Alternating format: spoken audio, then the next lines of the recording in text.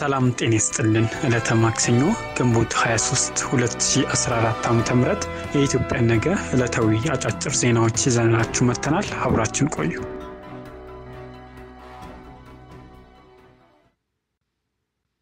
ኦባሳንጆ በመቀሌ ከህወሓት ሊቀመንበር ዶክተር ደብረጽዮን ጋር እንደተወያዩ ተሰምቷል። የአፍሪካ ህብረት ተወካዩ ኦሊሴጎ ኦባሳንጆ መቀሌ እንደነበሩ የህወሓት ቃል አቀባይ አቶ ጌታቸው ረዳ አስታውቀዋል። ቃል አቀባዩ በይፋዊ የትዊተር ገጻቸው ባሰፈሩ ጽሑፍ የህወሓት ሊቀመንበር ዶክተር ደብረጽዮን ገብረ ሚካኤል ኦባሳንጆን ተቀብለው ማነጋገራቸው ገልጿል። በቀጠናዊ ጉዳዮች ላይ መምከራቸውም ገልጿል ቃል አቀባዩ። ሆኖም ቀጠናዊ የተባለው ጉዳይ ምን እንደሆነ አቶ ጌታቸው በግልጽ አላስቀመጡም።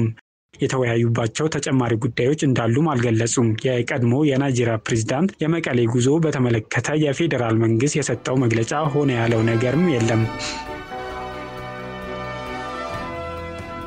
በአማራ ክልል ተያዙ ከተባሉ ከአራት ሺህ በላይ ሰዎች ውስጥ የተወሰኑት እገታና አግባብ የሌለው እስር መሆኑን ተገለጸ። የኢትዮጵያ ሰብአዊ መብቶች ጉባኤ በአማራ ክልል በሕግ ማስከበር ስም ከታሰሩት ከ4500 በላይ ተጠርጣሪዎች ውስጥ የተወሰኑት በሕግ አግባብ ያልተያዙ ናቸው አለ። የአማራ ክልላዊ መንግስት ከግንቦት 2014 ዓ ም ጀምሮ ሕግ ማስከበር ዘመቻ በሚል ከ4500 በላይ ሰዎች መታሰራቸው መግለጹ የሚታወስ ሲሆን ይህም ተከትሎ ኢሰመጉ ባሰባሰባቸው መረጃዎች በአንዳንድ የክልሉ አካባቢዎች እየተፈጸሙ ያሉ እስሮች ተገቢውን የሕግ ስነስርዓት ያልተከተሉና እገታም የታከለባቸው መሆናቸውን መረዳቱ ገልጿል።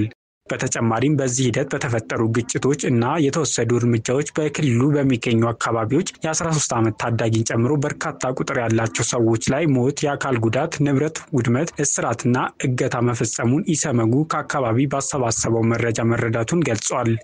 የኢትዮጵያ ሰብአዊ መብቶች ጉባኤ ከቅርብ ጊዜ ወዲህ በተደጋጋሚ በጋዜጠኞች፣ በተፎካካሪ ፓርቲ አካላት አመራሮችና በማህበረሰብ አንቂዎች ላይ ህገወጥ እስርና እገታ እየተፈጸመ በመሆኑ መንግስት የእርምት እርምጃዎች እንዲወስድ ሲጠይቅ መቆየቱን በማስታወስ አሁንም ህገወጥ እርምጃዎች በመንግስት በኩል እንደቀጠለ ነው ብለዋል።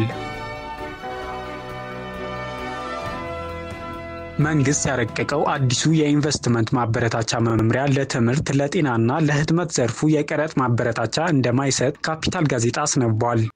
ሆኖም መምሪያው ለአልኮል መጠጦች ከሁለት እስከ ሶስት ዓመት የሚደርስ የቀረጥ እፎይታ እንዲሰጣቸው እንደሚፈቅድ ዘገባው ጠቁሟል። መንግስት የኢንቨስትመንት ማበረታቻዎች ለኢንቨስትመንቶች እንዲሰጥ የውሳኔ ሀሳብ የማቅረብ ስልጣን ከኢንቨስትመንት ቦርድ ተነስቶ ወደ ገንዘብ ሚኒስቴር እንደዞረ በመምሪያው ላይ ተመልክቷል። መንግስት የህዝቡን ደህንነት ማስጠበቅ ቀርቶ ይልቁንም በየጊዜው ተጋላጭ እያደረገ ነው ሲል የአፋር ህዝብ ፓርቲ ወቀሰ። የዜጎችን ህይወት መጠበቅ የመጀመሪያ ስራው የሆነው መንግስት የህዝቡን ደህንነት ከማስጠበቅ ይልቅ የህዝቡን ተጋላጭነት በሚጨምሩ ተግባራት ላይ ተሰማርተዋል ሲል የአፋር ህዝብ ፓርቲ ገለጸ። ፓርቲው በሰመራ ከተማ ያደረገውን የስራ አስፈጻሚ ኮሚቴ ስብሰባ ተከትሎ ባወጣው መግለጫ በብልጽግናና በህወሓት የስልጣን ጥማት እኔ ካልመራው ሀገር አፈርሳለሁ ባይነት መላው የኢትዮጵያ ህዝብ በተለይ ደግሞ የአፋር ህዝብ ያልተገባ የሀብትና የህይወት ዋጋ ለመክፈል ተገደዋል ብለዋል። የአፋርን ህዝብ በገዛ መሬቱ ሉዓላዊነቱን ለመፈታተን በሚመጡ መንግስታዊ ሆኑ ኢመንግስታዊ ወረራ ኃይሎች ለሚሞቱት ዜጎች መንግስት ከለላ እንዲሰጥና ግዴታውን እንዲወጣ ፓርቲው አሳስቧል።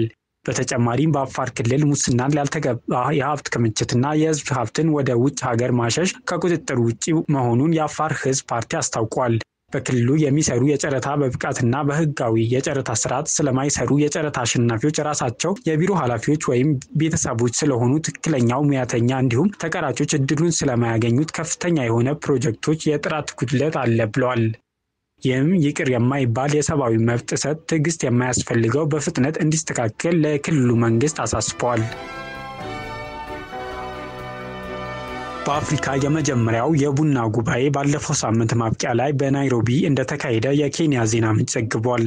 በጉባኤው ኢትዮጵያን ጨምሮ 25 የአፍሪካ ሀገራት ተሳታፊ ሲሆኑ ጉባኤ የአፍሪካን የቡና ዘርፍ አጠቃላይ ደረጃ ገምግመዋል። አፍሪካ የዓለምን 12 በመቶ ቡና ብታመርትም የሀገሪቱ የቡና ፍጆታ ግን 30 በመቶ ብቻ ነው። የኢትዮጵያ ቡናና ሻይ ባለስልጣን ዳይሬክተር አዱኛ ደበላ የአውሮፓ የቡና ፍጆታ 55625 ሜትሪክ ቶን ሆና ሳለ በአፍሪካ ግን 9800 ሜትሪክ ቶን መሆኑን በጉባኤ ላይ ተናግሯል። ባለፉት 20 ዓመታት በኢትዮጵያ የቡና ፍጆታ ከ50 በመቶ ፈቀቅ አለማለቱን አዱኛ ጠቁመዋል። የኢትዮጵያ ነገ ዕለታዊ ዜናዎቻችን ይህን ይመስሉ ነበር። ጤና ይስጥልን።